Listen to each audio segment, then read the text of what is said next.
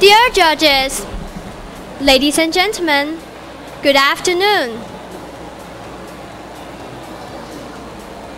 In this grave hour, perhaps the most fateful in our history, I send to every household of my peoples, both at home and overseas.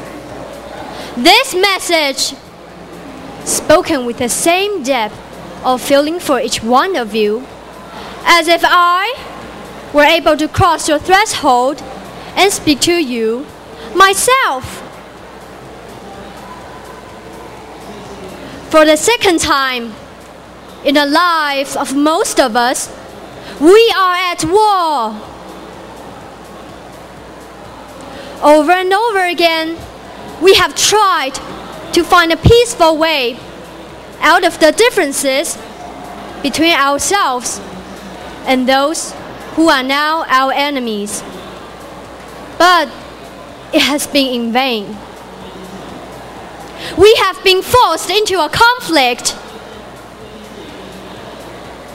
For we are called, with our allies, to meet the challenge of a principle which, if it were to prevail, would be fatal to any civilized order in the world.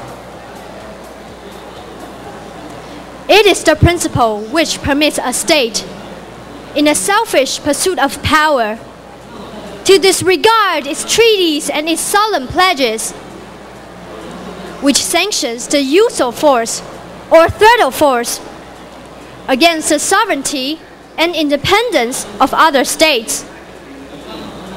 Such a principle, stripped of all disguise, is surely the mere primitive doctrine that might is right.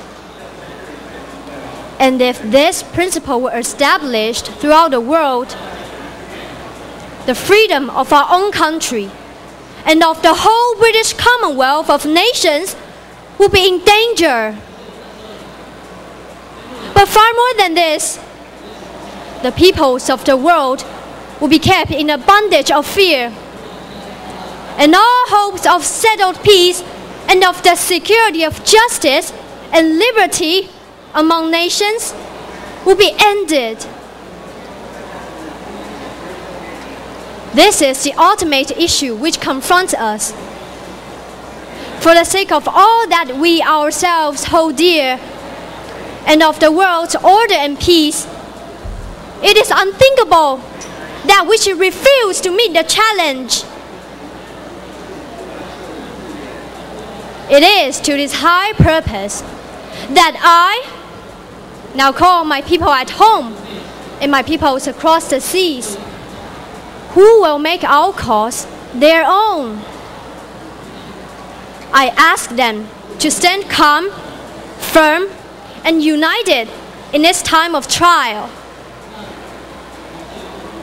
The task will be hard. There may be dark days ahead, and war can no longer be confined to the battlefield. But we can only do the right as we see the right and reverently commit our cause to God.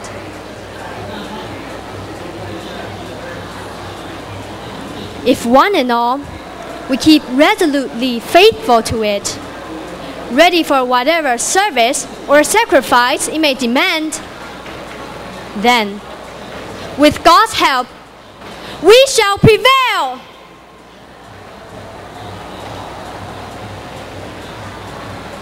May He bless and keep us all.